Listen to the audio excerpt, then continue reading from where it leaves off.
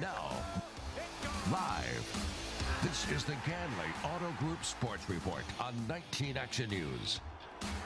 If you checked out Wikipedia at around 4 o'clock this afternoon, you would have seen that Bill Musgrave is the new coordinator of your Cleveland Browns. Except he isn't. Somebody jumped the gun because whatever the Vikings said to him when he got up there, and I'm sure it had something to do with calling the plays, obviously that changed his mind because tonight he's their offensive coordinator. As for the D coordinator, Dick Jauron went back to Philly. Dave Wannstedt comes in tomorrow. Stay tuned. Things, as you can see, happening and changing quickly. Cavaliers, what more can you say? I mean, anything else that I say is like piling on. I mean, Byron Scott threatened to bench him. If they don't start D'ing up, then they go out and play like this. Goran Dragic. I mean, look at Byron's reaction. It says it all. They're down 16 at the half. Fourth quarter, they come alive. They hold the Suns to 16 points. Jamison had a big night, but they just did not have enough. 106, 98, 14th straight loss, 24th in the last 25 games. Buckeyes, on the other hand, are number one in the nation for a reason. Ask the Hawkeyes, who were destroyed tonight. Jared Sullinger spins his way to 13. David Lighty threw down a game high 18. Break out the abacus. Buckeyes by 22, 70 to 48. Watch this dunk. Kent State and Buffalo, and yikes, Mitchell Watt on the break. Now the bad news, he plays for the other guys. 79-54, flashes fall by 25. How about Venus Williams giving Down Under a whole new meaning at the Australian Open? Here, listen.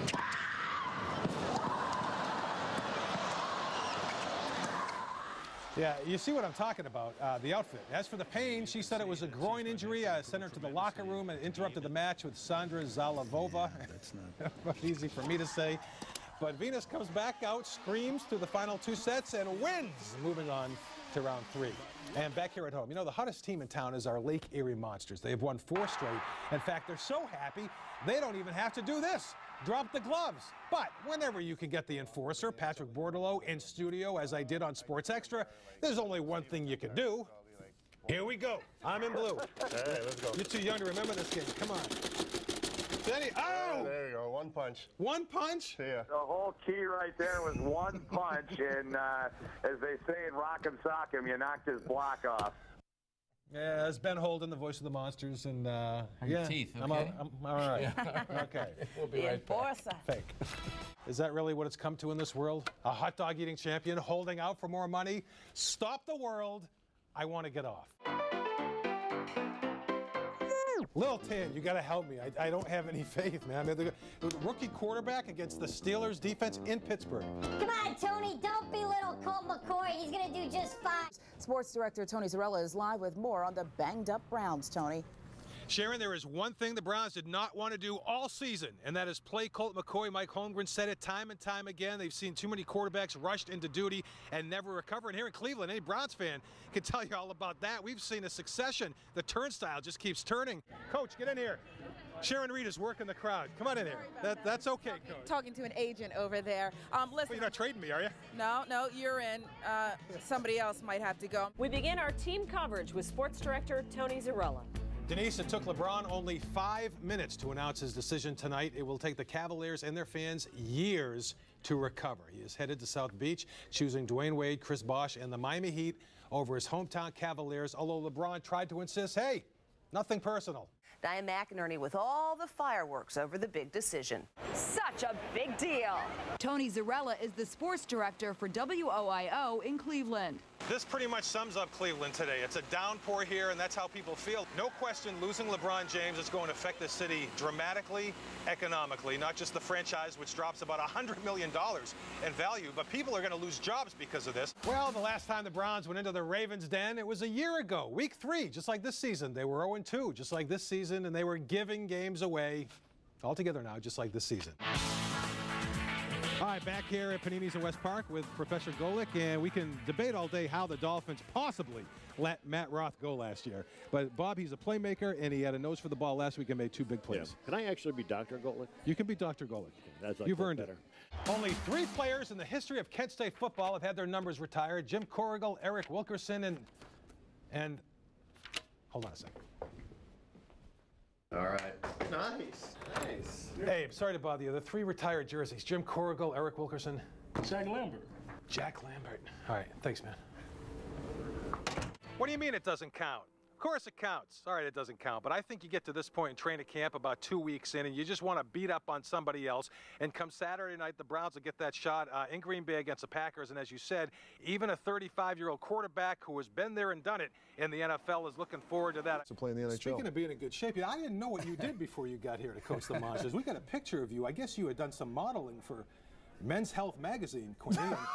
I, I, I, don't know how we dug this up, but our, our, our, crack staff researchers, you know, you know what's funny about this? Uh, you look so comfortable on this magazine. Apparently, it's not your first modeling yeah. job. I think uh, if you go, you go back to the 70s, I don't know if you remember Quinny on the cover of this magazine, but I think all the girls had this one as well. So, so Coach. Uh, if I knew this was going to happen, I wouldn't have come in. yeah, all right. Oh, Quinny and Donny Osmond, you're, you're, in Glad good company. Thanks, guys. Thank you. That's why I went to journalism school. Those and what's exclusive interviews. is paid off. we'll be right back. now, live. This is the Ganley Auto Group Sports Report on 19 Action News. Takes his throws middle. What a shot by Lewis on Dustin Keller. Hey, come on, the guy's 35 years old. What's there to be afraid of? Clearly, he has lost a step. I'm not worried about Ray Lewis. He's not here, is he?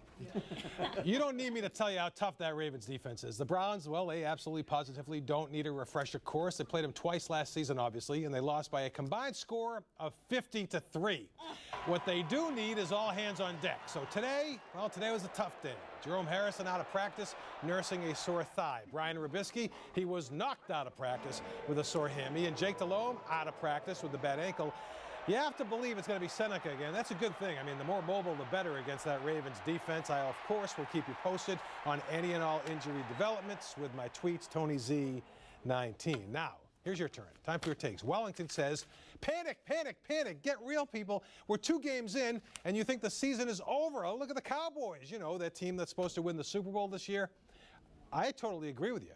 Wait until Sunday and then panic. You heard his take. Now I want yours. Log on to 19actionnews.com. Click on sports, then Tony's take, and fire away. Sunday, I turn it over to the experts Golic, Langhorne, Jurevicius, Top Dog, Dixon on the Serpentini tailgate each and every Sunday at 11 live from Panini's in West Park. Mo Williams tells Yahoo Sports he was so depressed this summer after you know who bolted, he actually thought about doing the same, quitting. Mo says his love of the game took a major hit with all these changes, but come Monday, well, he better be back. Cavaliers open camp next week. Twins clinched last night, as you know, but unfortunately did not celebrate hard enough because today they completed the sweep. Jose Morales, his first game ever at first base. So you say, all right, beginner's luck, right? No. Next batter, Shin-Soo, same thing, 5-1. Twins beat us. We're back home against the Royals tomorrow. Back to football. Let's live free or die up in New Hampshire and try to do it looking good. Oh, yeah, we look like we got six points.